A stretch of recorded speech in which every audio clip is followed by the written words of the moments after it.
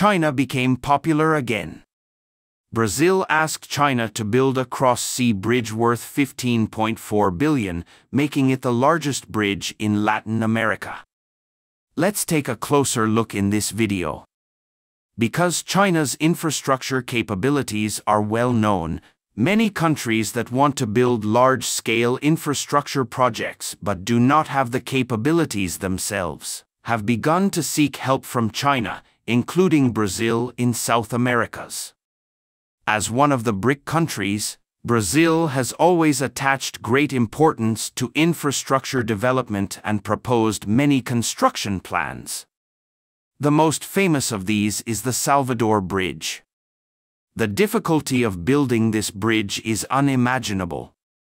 However, China Infrastructure Construction previously repaired a Japanese-built bridge for Brazil and gained Brazil's trust, so it handed over the project to China.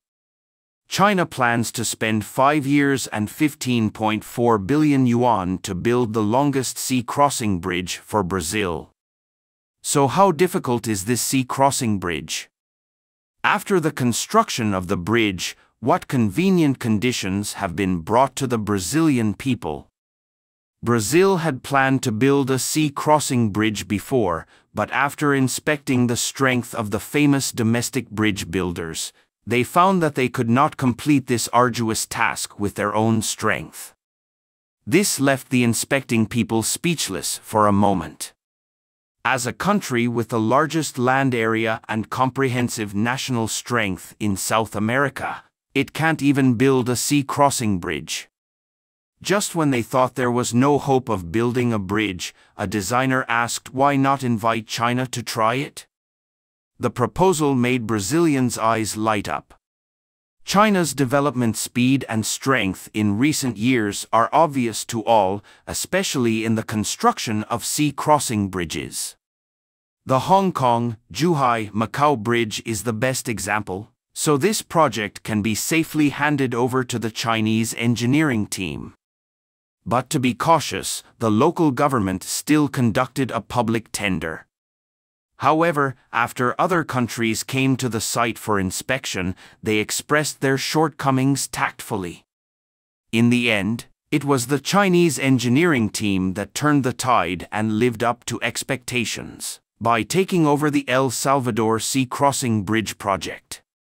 In November 2020, China Railway Construction 20th Bureau Group and China Communications Construction Company Limited signed a construction contract with the Bahia state government of Brazil, marking that the largest sea-crossing cable-stayed bridge in Latin America has officially entered the construction stage.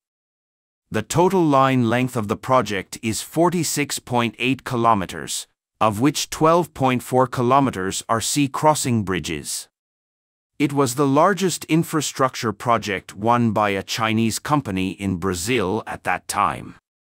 And Brazil is not stingy and has prepared 15.4 billion for the Salvador Bridge to make the bridge a star project in Brazil. Why does Brazil attach so much importance to the Salvador Bridge and spend a lot of money to build it?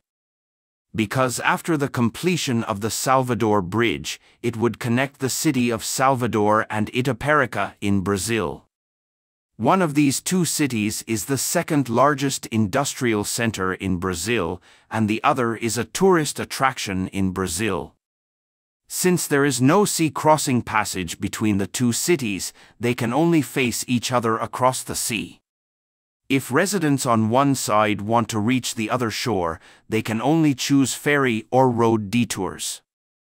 Although the speed is slightly faster, once there is a peak tourist period or rough weather, the ferry will form a long queue, and the wait may last for several hours.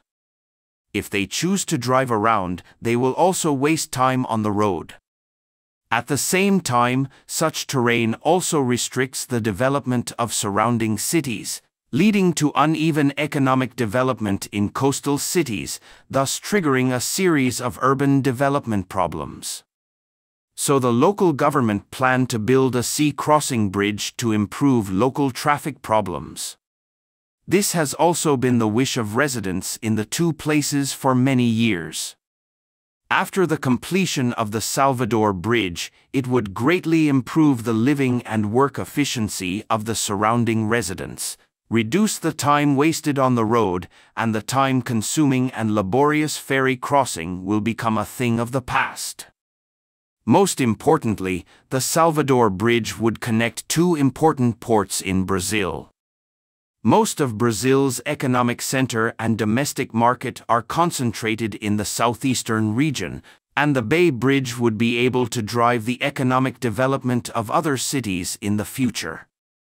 Therefore, this bridge is of great significance both for economic development and for improving people's livelihood.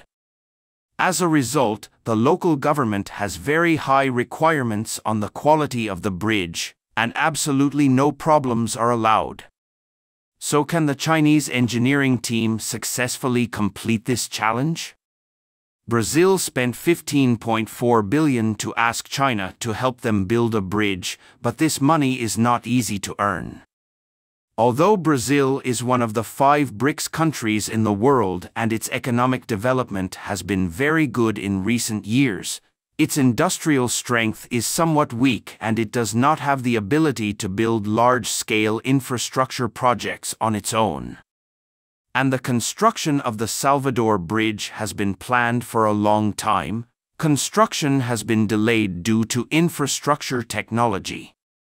Because the Salvador Bridge is a super large sea crossing bridge, the scale of the project can match that of China's Hong Kong, Zhuhai-Macau Bridge, and there are even some places where the difficulty is higher. Finally, after layers of competition, the Chinese company relied on its strong strength to defeat other competitors and won the big order from Brazil. The next step was the on-site inspection by the Chinese engineering team to prepare for the start of construction. In order to build the El Salvador Bridge into a star project in Brazil, the Chinese engineering team also came up with the technology of pressing the bottom of the box. After detailed investigation and demonstration, the engineering team found that although the El Salvador Bridge was not as long as the Hong Kong-Zhuhai-Macau Bridge, it was also quite difficult. Because the geological and hydrological conditions of this Brazilian sea area are very special, especially the deepest sea area where the Salvador Bridge is located reaches 60 meters, which is 10 meters deeper than the Hong Kong Zhuhai Macau Bridge. In order to take into account both the bearing capacity and the aesthetic effect, the main cable-stayed tower of the El Salvador Bridge is 205 meters high, 12 meters higher than the Hong Kong Zhuhai Macau Bridge. In addition, the sea area to which the bridge belongs is very busy with shipping and is an important shipping route. This requires that the bridge should not affect normal maritime navigation after it is completed. Therefore, the height from the Salvador Bridge to the sea was set at 86 meters, which is far higher than the Hong Kong, Zhuhai-Macao Bridge. It can be said that the El Salvador Bridge is not inferior to the Hong Kong, Zhuhai-Macao Bridge in terms of construction difficulty and construction requirements except that it is not as long as the Hong Kong, Zhuhai-Macau Bridge. In order to ensure the quality and quantity of the Chinese engineering team and deliver the project on time, the engineers summed up the construction experience of the Hong Kong, Zhuhai Macau Bridge, while adapting measures to local conditions based on the results of field inspections. It was decided to adopt the hydraulic climbing formwork construction scheme with folding and bending to build the most difficult cable, stayed tower, and combined with auxiliary schemes such as elaborate skeleton suspension brackets to ensure the quality and safety of the bridge. Although Chinese tried their best to have everything in every aspect before the start of construction, some problems still appeared during the construction. Because both the water depth construction of the bridge and the construction difficulty of the main cable-stayed tower are extremely rare in world engineering. The pier wall of the bridge is designed to be only 30 centimeters, and the middle must remain hollow. This rare structure has extremely high requirements for construction technology. While the engineers were studying solutions, the construction team on the other side also encountered a difficult problem. It turned out that the blasting team found that the rock was too deep and it was difficult to blast without affecting other projects. When the engineers dispatched from Brazil saw these problems, they were at a loss for a while, and some of them had even never encountered them in their careers. However, the Chinese engineers did not panic after summarizing the problems but immediately notified the engineering personnel of various departments to gather. Everyone expressed their opinions and proposed various improved processes in their own fields.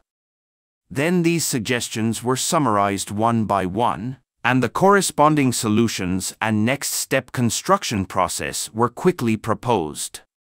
This series of operations stunned the Brazilian engineers on the sidelines. Although they have heard that China's infrastructure is very powerful, they did not expect it to be so powerful.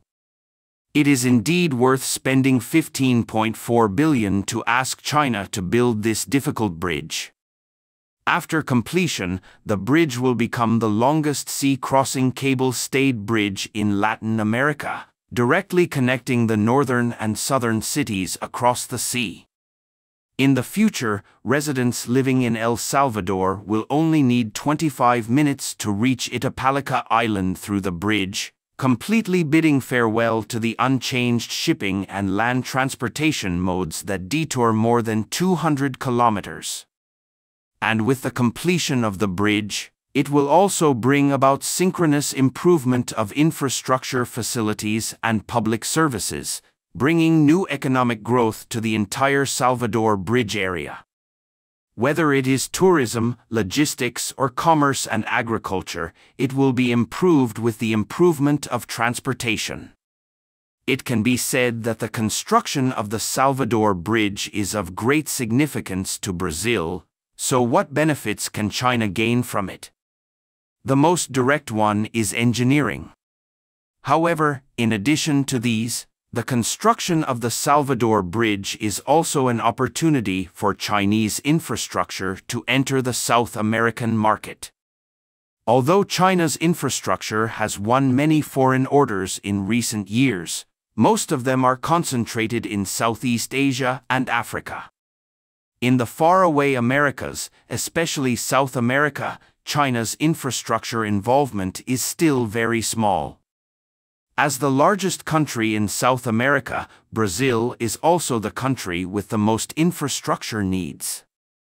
If China can win their Salvador Bridge project, it will definitely serve as a positive example and let Brazil and South American countries see the strength of China's infrastructure. It can be said that the construction of the El Salvador Bridge is also an opportunity to promote Chinese infrastructure to the Americas while also strengthening win-win cooperation between China and South American countries. What are your thoughts on this? Thank you for watching. If you enjoyed this video, don't forget to like, comment, and subscribe to our channel for more great content. See you next time.